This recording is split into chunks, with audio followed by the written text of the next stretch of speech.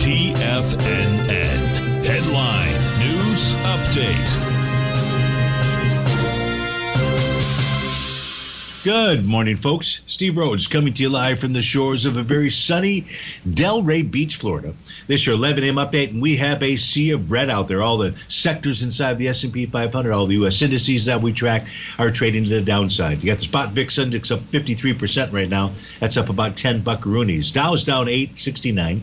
S&P's off 137. Nasdaq's off 581. Russell's down 91, 4%, 6% for the semis, 282 point move there. Trading's down 538. We've got a Nike swoosh to the downside. Gold's off four bucks, silver's down 20 cents, light sweet crude is off 255. Natural gas up two pennies, the 30 Treasury up over two points, printing out at 124.19.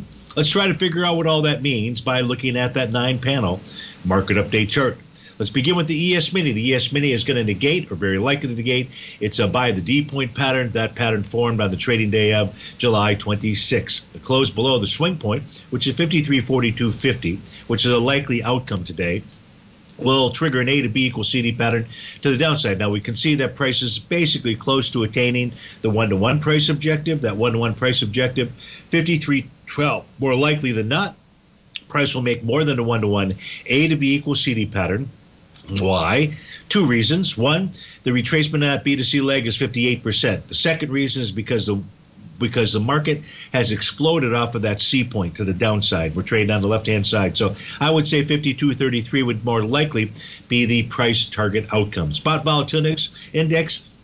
We'll take a look at this during the uh, during the show today. Dan asked a question: What's the deal when you have a one day rate of change above plus plus 10 percent, followed by a 50 percent? Well, I don't know that I've seen that uh, too often, but I do have some ideas for you to consider. If we take a look at the NQ, it closed today below 18,725, triggers an A to B equals CD to the downside. It negates its buy the D point pattern as well. Its initial price projection would be down to the 17,458 level.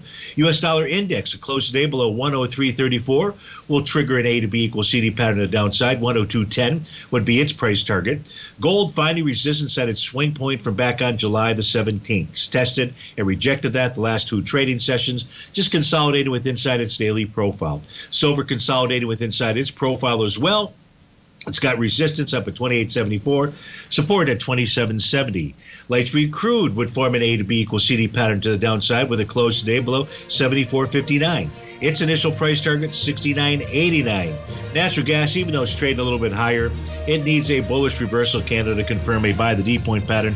It does look like the 30-year Treasury wants to head up towards the 126 level, 125.29 to be exact. Folks, stay tuned for the Trader's Edge show. But if you have to start your Friday, have a fabulous one.